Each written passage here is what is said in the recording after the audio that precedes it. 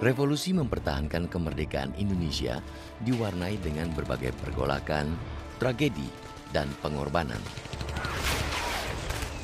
Jejak tragedi dan pengorbanan ini antara lain terekam dalam sejarah pemboman dan pembakaran kota Bekasi oleh pasukan sekutu pada tanggal 13 Desember 1945.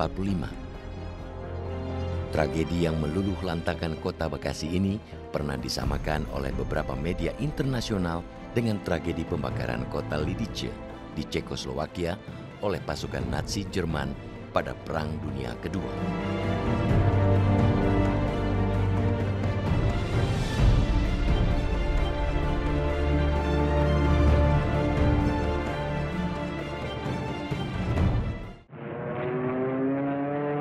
Peristiwa pemboman dan pembakaran kota Bekasi tak bisa dilepaskan dari peristiwa pendaratan darurat sebuah pesawat Dakota Sekutu di kawasan Rawagatel Cakung yang dulu masuk wilayah Kawedanan, Bekasi pada tanggal 23 November 1945.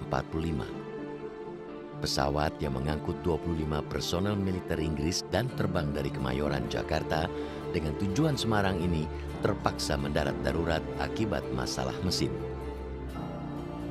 Menurut sejarawan Bekasi yang meneliti berbagai peristiwa revolusioner di wilayah Bekasi pada sepanjang tahun 1945 hingga 1949, Ali Anwar, pendaratan darurat pesawat sekutu ini mengundang perhatian warga.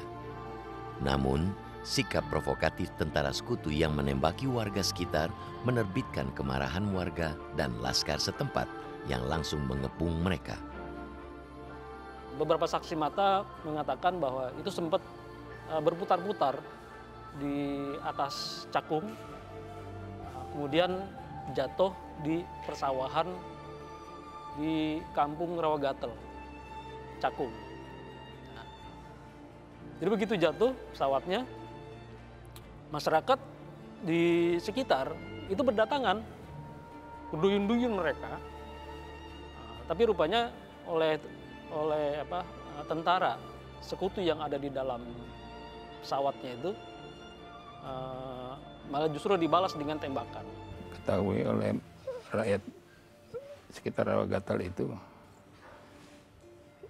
yang paling dulu mendatangi adalah Pak Gusir itu dan Haji Maksum. Maksudnya mau nolongin, malah ditembaki akhirnya nggak jadi malah marah tuh. Akhirnya rakyat situ jadi marah. Kalau reaksi masyarakat yang jelas mereka itu masih trauma dengan uh, Belanda segala hal-hal yang berbau barat gitu ya. Sehingga uh, apa yang terjadi ketika nikah itu uh, apa namanya pesawat Dakotanya jatuh di Rogatel itu diupayakan supaya mereka ini bisa ditangkap ditangkap hidup-hidup untuk diserahkan ke tadi eh, apa namanya TKR. Karena terkepung, ke-25 tentara sekutu yang 22 di antaranya merupakan anggota resimen Gurkha Inggris akhirnya menyerah. Setelah dilucuti, para tentara ini digelandang ke markas pasukan rakyat Ujung Menteng untuk kemudian dibawa dan ditahan di tangsi polisi Bekasi di Kampung 200 masyarakat itu kayaknya justru men menyerbu ke daerah sana. Akhirnya saya dengar katanya akhirnya uh, awak pesawatnya ya entah itu uh, Belanda atau apa ya. Pokoknya dianggap Belanda pada waktu sebab pada waktu itu orang benar-benar anti sama Belanda, benci sama Belanda. Akhirnya, nah mereka suruh disuruh turun, diamankan, ditelanjangin sama sekali. Nah terus diarak sampai apa nyebrang kali Cakung sampai ke Sukapura. Dari Sukapura terus digiring melalui jalan Tipar Cakung yang sekarang ini. Nah pada waktu jalan masih agak apa tuh batu-batu, uh, uh, jadi nggak kayak sekarang udah licin. Uh, uh. Diarak rame-rame, ditelanjangin. Nah, ada saya sendiri saya hanya menyaksikan melihat apa tuh di depan rumah saya. Saya kan ada di kampung baru sini. Jadi saya lihat ya memang kita benar-benar justru merasa ketakutan pada waktu itu. Suasana saat itu memang begitu sangat mencekamnya gitu. Dan ketika terjadi itu pun eh, masyarakat berbondong-bondong untuk melihat termasuk mungkin ayah saya juga gitu ya. Saya ikut meski masih kecil ikut menyaksikan. Karena eh, persis di jalan kita ini ya sekarang ini namanya jalan Tipar Cakung terus melalui jalan Raya Bekasi gitu ya itu tentara tadi dibawa gitu dibawa oleh masyarakat untuk diserahkan ke TKR seperti itu. Tindakan tentara Indonesia menawan 25 tentara Inggris ini membuat marah pimpinan tentara sekutu di Jakarta, Jenderal Christensen.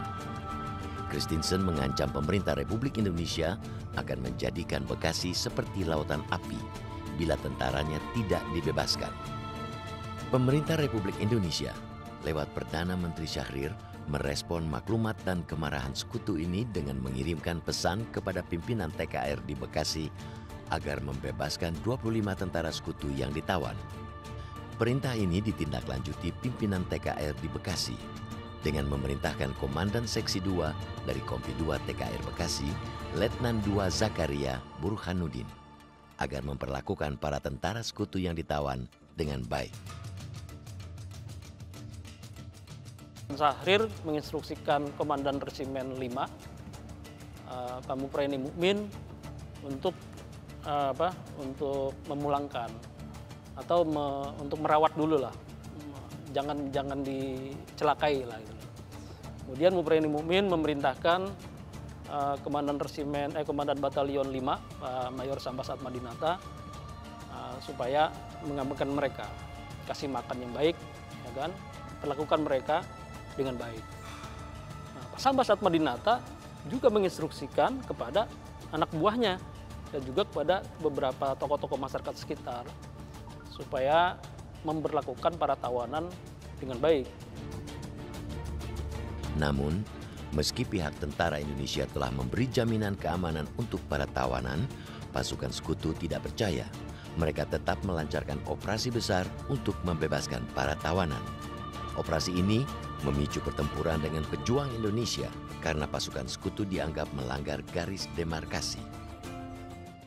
Pasukan Inggris masuk melalui Cakung ke situ. Habis itu dibakarin rumah-rumah. Ada 109 rumah yang dibakar.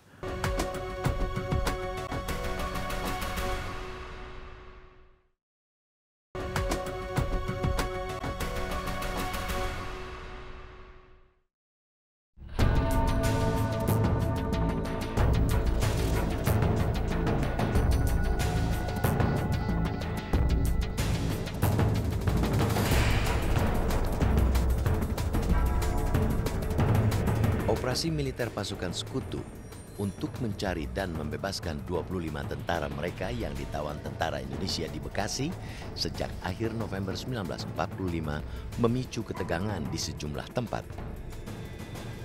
Ketegangan yang berkembang menjadi pertempuran di antaranya pecah di Klender dan kemudian di Cakung yang saat itu masuk dalam wilayah Kawedanan Bekasi dan menjadi bagian wilayah kekuasaan Republik Indonesia. Pihak pejuang Indonesia menilai pergerakan pasukan sekutu ke wilayah Bekasi sebagai bentuk pelanggaran garis demarkasi. Kerawang atau antara wilayah Kerawang dan Bekasi. Nah itu memang daerah yang ketika itu uh, bisa dianggap sebagai tempat berkumpulnya orang-orang yang mengungsi dari Jakarta. Itu kan daerah dikata, dimasukkan sebagai daerah Jakarta Timur. Banyak orang-orang kita itu terutama dengan adanya pengumuman bahwasanya Jakarta itu jadi kota internasional. Pada tanggal 19 November itu setelah uh, Perdana Menteri Sultan Syahrir mengumumkan itu ya kan? Uh, pasukan bersenjata Indonesia itu berangsur-angsur mereka semua pergi keluar Jakarta. Yang terbesar tentu saja di daerah Jakarta Timur sini. Misalnya saja uh, Laskar Rakyat itu ya, Laskar Rakyat Jawa Barat itu, Badan Perjuangan itu ya, gabungan dari Angkatan Pemuda Indonesia, API ya, dan badan-badan perjuangan lainnya gitu ya, yang kecil-kecil itu, itu sudah menempati daerah Kerawang dan sekitarnya. Sebagai sumber pertahanan dari tentara rakyat pada waktu itu ada di Loneng. Kali Cakung. Kali Cakung karena itu daerah perbatasan antar kekuasaan Belanda dan kekuasaan RI pada waktu itu. Mm. Jadi situ sering terjadi pertempuran. Jadi dia selalu dihalangin oleh tentara kita mungkin yang asalnya dari Madiun sana, dari Jawa Timur. Jadi apabila terjadi peristiwa itu, lantas masyarakat dengar tembakan aja langsung mengungsi. Dari sini lari ke timur lewat apa tuh Rawa Bugis ke Kandang Sampi.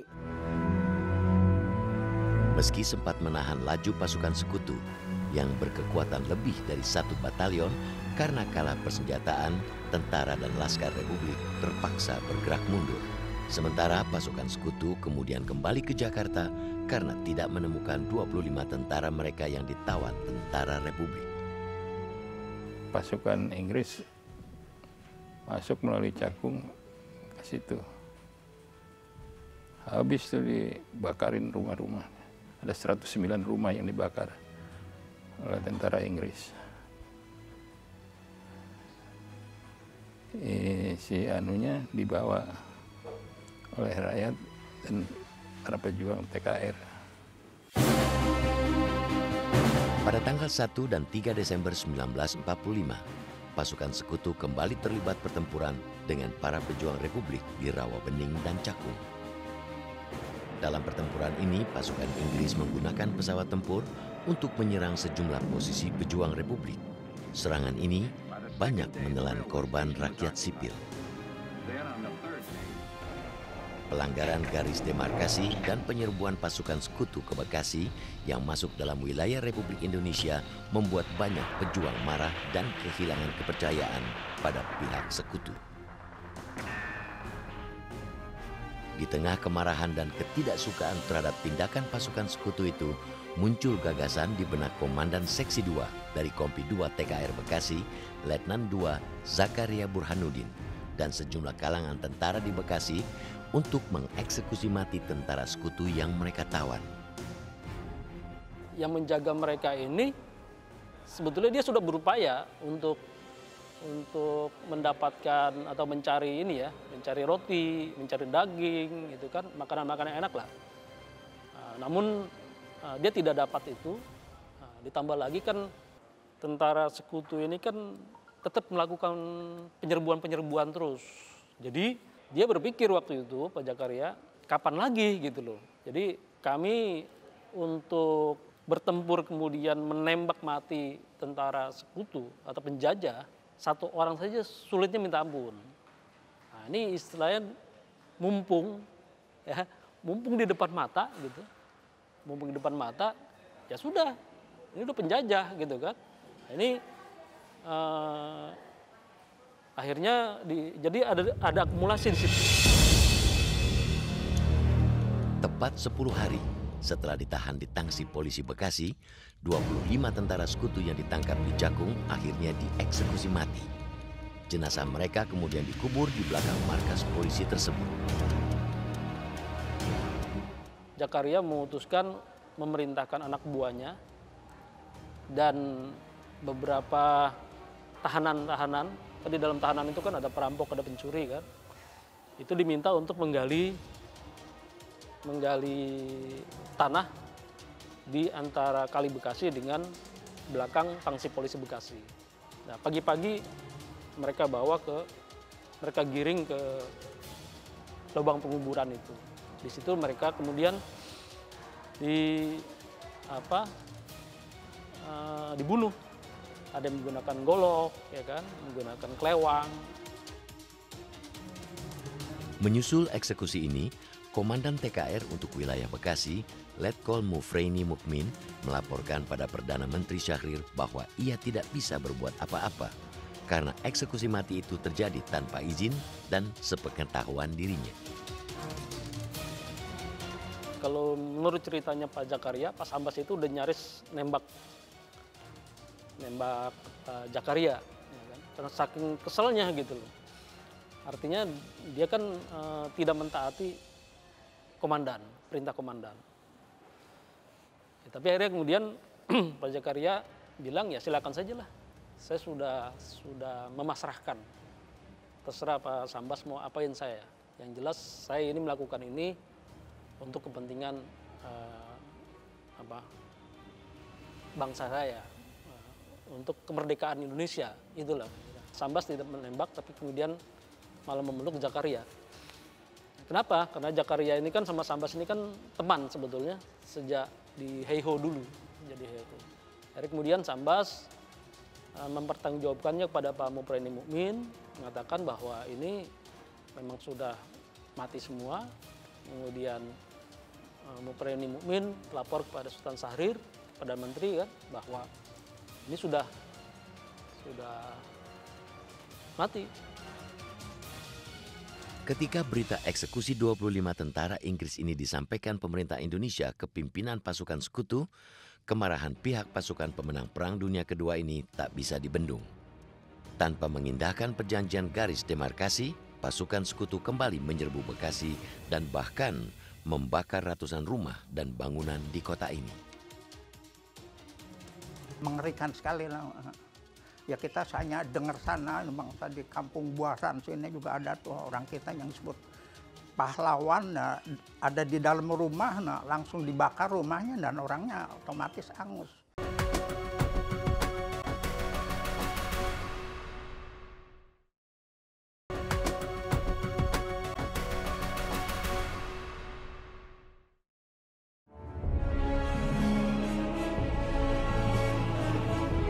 Eksekusi mati 25 tentara sekutu yang ditahan di Bekasi pada tanggal 3 Desember 1945 memicu kemarahan pasukan sekutu.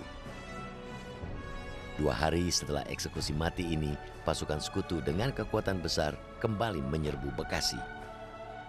Penyerbuan dengan misi Punitive Expedition atau ekspedisi pemberian hukuman ini melibatkan ribuan tentara dan didukung sejumlah pesawat tempur, tank, serta peralatan tempur lain. Penyerbuan ini tidak mendapat perlawanan berarti dari tentara Indonesia atau badan-badan perjuangan lainnya. Karena kalah persenjataan, para pejuang Republik memilih mundur, bersembunyi, atau meninggalkan sementara wilayah Bekasi. Datang tentara tentara sekutu yang melakukan penyerbuan ke Bekasi. Tapi begitu sampai ke Bekasi, memang ada perlawanan-perlawanan tapi kan tentara Republik cenderung kalah karena persenjataan dan personilnya kan uh, besar dari tentara sekutu. Tidak lama setelah menguasai Bekasi, pasukan sekutu berhasil menemukan lokasi tempat 25 jenazah tentara mereka yang dieksekusi mati pejuang Indonesia dikuburkan. Setelah kuburan digali dan semua jenazah tentara sekutu diangkat, pasukan sekutu meninggalkan Bekasi. Sepekan setelah penemuan 25 jenazah tentara mereka, pimpinan pasukan sekutu yang menganggap eksekusi mati tentara mereka sebagai bentuk penghinaan kembali memerintahkan penyerangan kota Bekasi.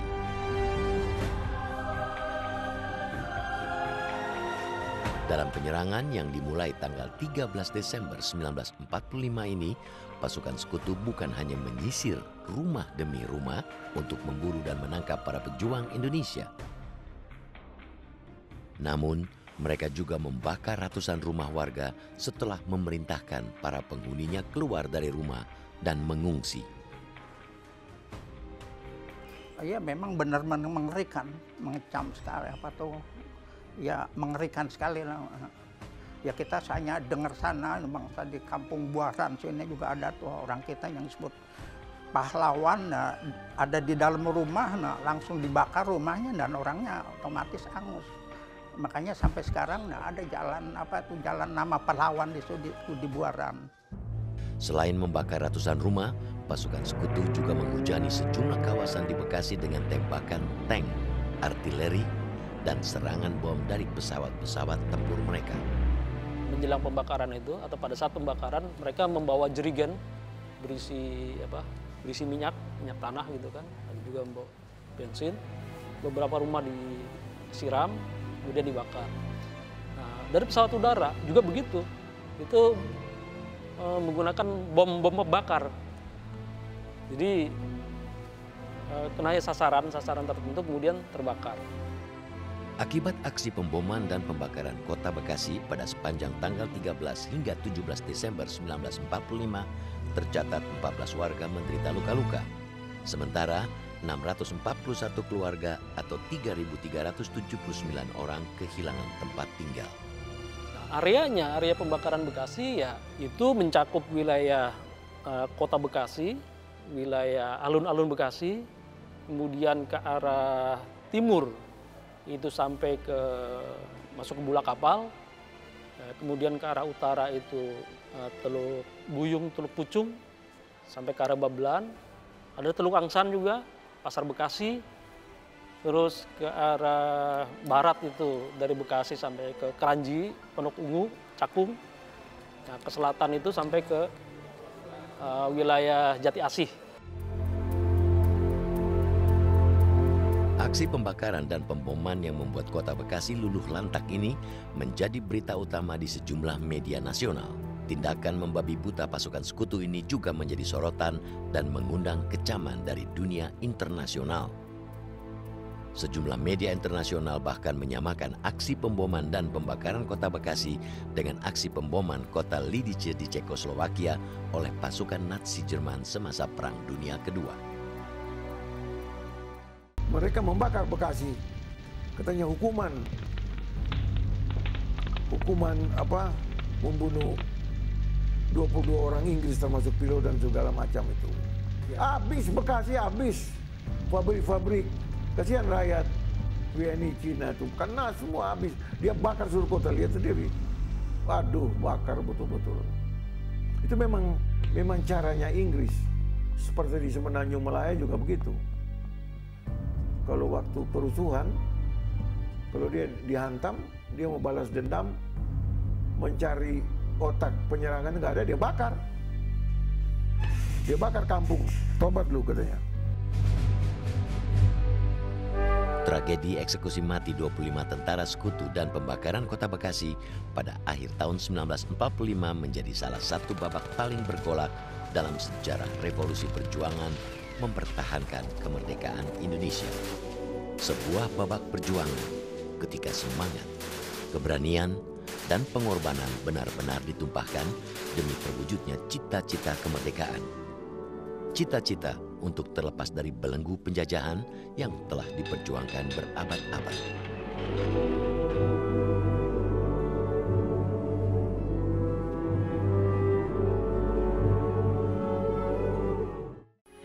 Metro TV, knowledge to elevate.